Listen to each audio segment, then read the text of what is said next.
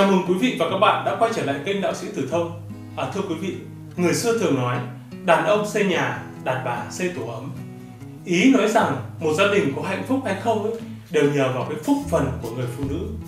Trên thực tế, có những người phụ nữ trong bên ngoài rất đơn giản, nhưng bên trong họ lại là cả một cái hào quang chiếu sáng. Có số nữ vương, chuyện nhà cửa thì đều một tay lo toan chu đáo hết.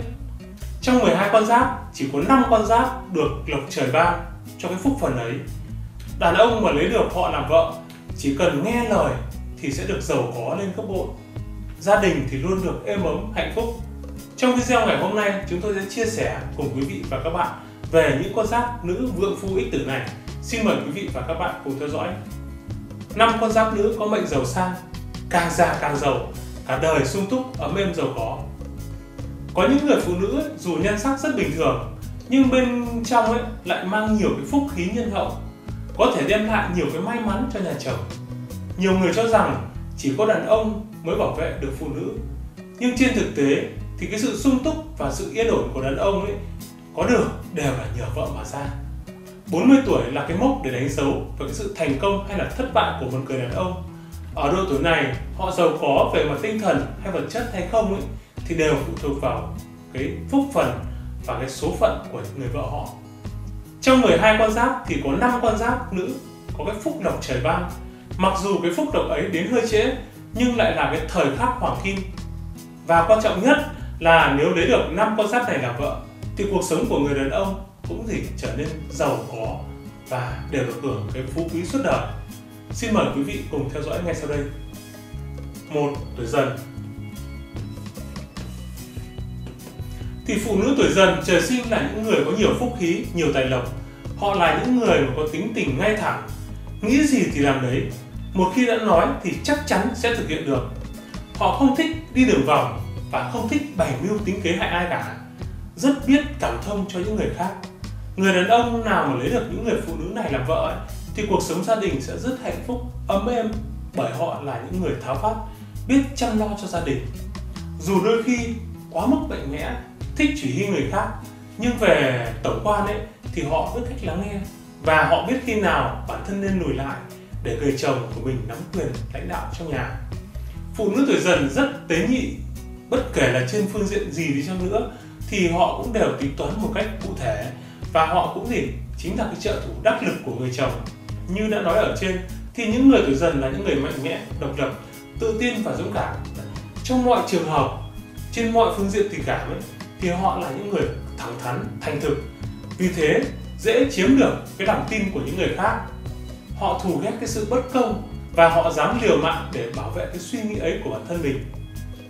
Bẩm sinh những người tuổi dần là những người hiếu động, thích sự thay đổi nên họ thường sống phiêu lãng trong cái độ tuổi trung niên thì số phận của họ không được yên ổn, cũng không có được một cái chức vị trọng yếu nào. Nhưng mà sau khi vượt qua khó khăn thì họ sẽ được hậu vận tươi sáng. Ngoài ra thì họ còn là những người mà có cái mệnh phú quý. Sau khi kết hôn thì không chỉ cuộc sống, sự nghiệp của họ gặp nhiều cái thuận lợi, mà họ còn đem lại cái may mắn cho cái nửa kia của mình. Càng về già thì cuộc sống của họ lại càng giàu có và càng sung túc và đầy đủ hơn. Tiền bạc thì cũng chẳng bao giờ là vấn đề đối với những người tuổi dần. Phụ nữ tuổi dần thì rất thông minh, kiên định và có cái lòng dũng cảm. Họ có tính cách khá là thẳng thắn, nhưng lại cực kỳ khéo léo và biết nhìn xa trông rộng đấy điều đó sẽ giúp cho con cái của họ cũng sẽ được thừa hưởng cái phẩm chất này. À, ngay từ khi còn bé thì chúng đã rất khéo léo giỏi giang. Và sau này trưởng thành ấy, thì cái sự nghiệp thành công vang dội tài năng thì được nhiều người công nhận. Hơn nữa chúng cũng được sống trong gia đình có của ăn của để nhờ công lao của mẹ từ dần. Nên họ sẽ có đủ điều kiện để hoàn thành hết các kỹ năng các tri thức của bản thân. Thì ngoài ra chúng được mẹ dạy dỗ cẩn thận. Nên là khi trưởng thành thì dù đạt được nhiều cái thành tích nhiều thành công giàu sang nhưng vẫn rất hiếu thảo. Đó là con giáp đầu tiên là những người tuổi dần. Tiếp theo con giáp thứ hai càng già càng giàu đó là con giáp nữ tuổi tuổi ngọ. À, phụ nữ tuổi ngọ vốn là những người yêu thích cái sự tự do và phóng khoáng. Họ khá dễ chịu và thoải mái trong mọi cái tình huống nhưng đôi lúc lại khó kiềm chế được cái sự nóng giận của mình. À, tuy nhiên trên thực tế thì những người phụ nữ tuổi ngọ lại có trái tim nhân hậu và hay thích giúp đỡ người khác. Vì vậy, cuộc sống của họ khá lạc quan và có ý nghĩa. Trong cuộc sống hôn nhân thì những gia chủ tuổi ngọ được trời ban cái phúc phần may mắn. Có số là nữ vương và có mệnh là vương phụ. Vì vậy ai cưới được phụ nữ tuổi ngọ thì được xem là những người được hưởng phúc. Nữ tuổi ngọ là cô gái trong mơ của bất cứ chàng trai nào đầy khí thế vui vẻ và độc lập một cách là gì? Đáng kinh ngạc họ có thể tham gia bất cứ các trò chơi nào hay là hòa đồng vào bất cứ cái nhóm bạn nào mà họ thích. Trong công việc thì nữ tuổi ngọ làm việc đặc biệt hiệu quả. Để hoàn thành nhiệm vụ họ chỉ cần bỏ ra nửa cái thời gian so với những người khác. Có khả năng là kiếm tiền và giữ tiền nhưng mà làm giàu thì không phải là cái động cơ của những người phụ nữ tuổi ngọ. Họ là những người có tâm hồn khao khát cái sự tự do. Với phụ nữ tuổi ngọ ấy, thì tự do được là chính mình còn có ý nghĩa hơn nhiều về cái chuyện tiền bạc cái tính độc lập sẽ khiến cho họ không muốn bị thuần hóa hoàn toàn. Khi mà giữ được cái cảm giác là chính mình ý, thì họ sẽ cảm thấy hài lòng. Nhưng đôi khi thì cũng hơi thái quá. Cũng chính cái tình yêu tự do này có thể thiêu cháy những cái người xung quanh. Nữ tuổi ngọ đặc biệt là giáp ngọ và tuổi mậu ngọ sẽ kiên định hơn là nam giới tuổi này. Họ sẽ không sốt sắng chờ đợi mọi việc tốt đẹp mà gì? Họ sẽ kiên nhẫn chỉnh thể cái sức mạnh của mình tuổi ngọ có cái nhìn sâu sắc và tinh tế. Họ biết cách chiều lòng những người xung quanh đặc biệt là chồng của mình. Nên đa số tuổi ngọ thường là những người đều được chồng yêu thương hết mực. Bên cạnh đó người chồng nào mà càng nghe lời vợ tuổi ngọ thì tài vận sẽ càng dồi dào cái sự nghiệp thì càng được thăng tiến. Nhìn chung tuổi ngọ có số sướng ở cái hậu vận và sống hạnh phúc hưởng phúc cả đời bên chồng bên con gái. À, sau khi kết hôn thì tuổi ngọ sẽ yêu thương và chăm sóc, chăm lo cho chồng con vô điều kiện, sẵn sàng hy sinh cái đỉnh cao sự nghiệp để lùi về, làm mẹ, làm vợ hiền sâu thảo phải công nhận rằng, ông chồng nào mà cưới được những người phụ nữ tuổi ngọ thì là vô cùng may mắn. Bởi lẽ, cái sự thông minh và cái sự tinh tế của những người tuổi ngọ, họ sẽ dư sức giúp đỡ các anh thành công trong công việc. Bên cạnh đó, họ có thể thay các anh quán xuyến mọi việc trong nhà một cách chu đáo nhất thì nhìn chung, phụ nữ tuổi ngọ là ngôi sao may mắn của gia đình. Ai có họ bên cạnh thì hãy nhớ giữ gìn một cách cẩn thận. Con giáp nữ càng già càng giàu thứ ba, đó chính là những người tuổi tuổi dậu. Tuổi dậu có lẽ là những người phụ nữ thích ôm đồm nhất trong 12 con giáp.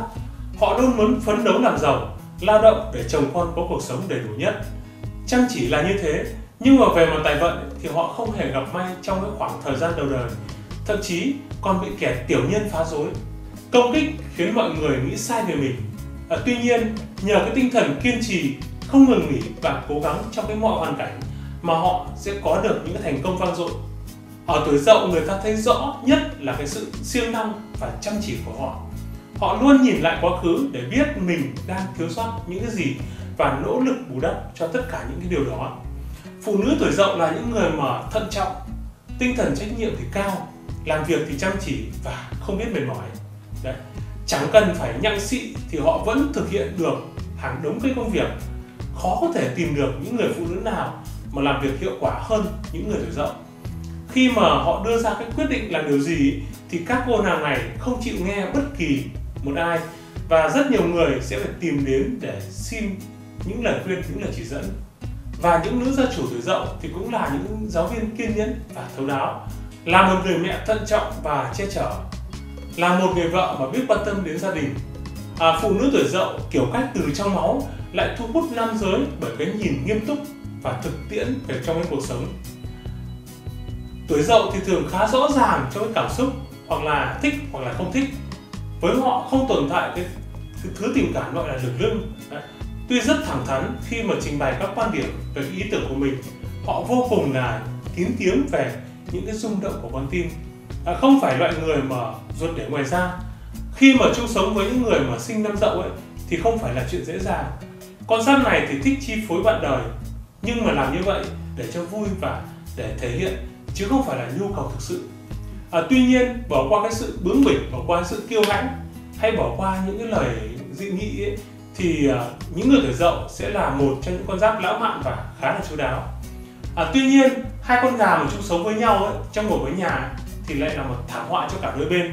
Một khi đã tìm được cái hạnh phúc trong cái mối quan hệ lâu dài thì tuổi dậu rất hiếm khi lừa dối hay là làm bạn đời mình phải thất vọng.